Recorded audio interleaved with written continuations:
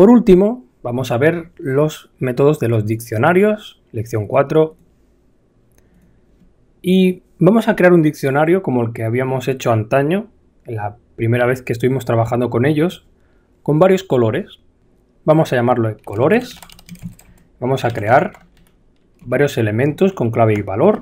Vamos a ponerlo rápidamente así.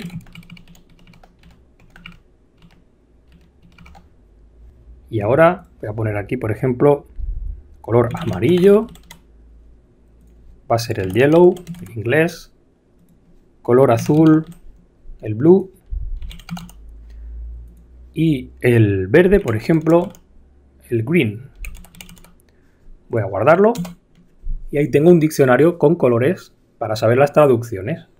Entonces, sabemos que podíamos rápidamente utilizar la clave pasándole al diccionario entre los corchetes, por ejemplo, así, para saber el valor. ¿De acuerdo? Pero también podemos hacerlo con un método que además nos puede devolver un valor por defecto. Por ejemplo, colores, get, es el método, y le vamos a pasar entre paréntesis la clave, por ejemplo, amarillo, y aquí un valor por defecto, que podríamos poner no se encuentra. Si lo ejecutamos, nos devuelve yellow, porque sí que encuentra la clave amarillo. Pero imaginar que le ponemos un color, por ejemplo, eh, negro, que no está dentro del diccionario. Pues entonces nos devolvería el valor por defecto, que es el segundo parámetro, no se encuentra.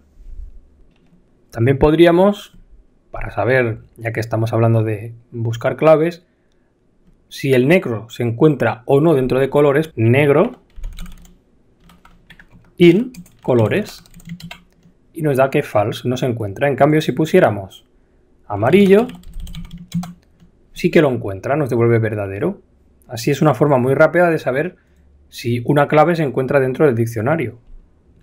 Pero los diccionarios, aparte de tener métodos o formas de conseguir la información como el get o soportar el in, también incluyen una serie de métodos bastante interesantes para conseguir información, pero relacionada con la clave y con el valor a la vez, o con solamente las claves o solamente los valores.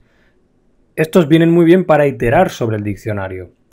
Por ejemplo, si quisiéramos una lista únicamente con las claves de un diccionario, podríamos hacer lo siguiente, colores, case, nos devuelve una lista con las claves del diccionario, amarillo, azul y verde.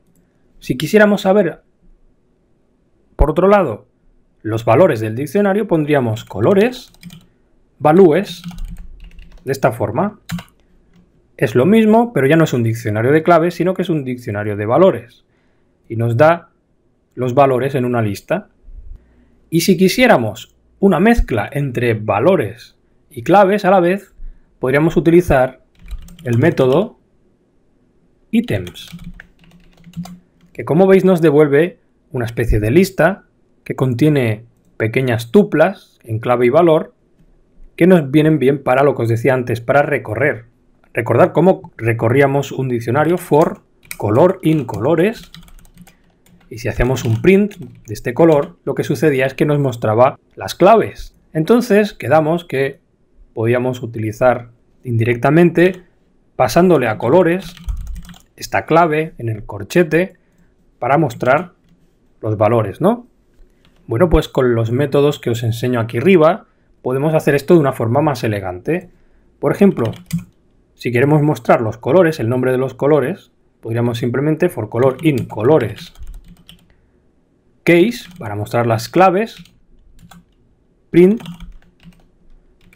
y ahí únicamente mostraríamos las claves, amarillo, azul, verde.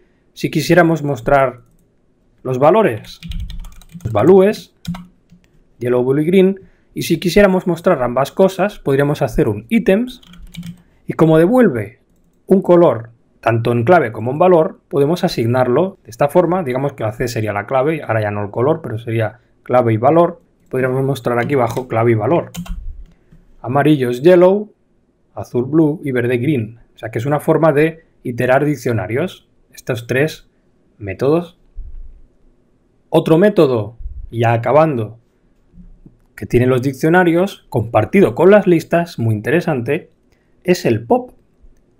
Tenemos nuestra colección, bueno, nuestro diccionario de colores. Imaginar que queremos sustraer el color amarillo. Podríamos hacerlo refiriéndonos a colores y haciendo un pop. Y aquí le diríamos lo que queremos extraer. Queremos extraer la clave amarillo y lo que nos permite hacer es mostrar un mensaje por defecto en caso de que no se encuentre. Por ejemplo, no se ha encontrado. Esto nos devuelve el valor de amarillo y si consultamos colores, lo hemos borrado. Sacamos el valor y borramos el elemento en clave y valor del diccionario o registro, como queráis entenderlo.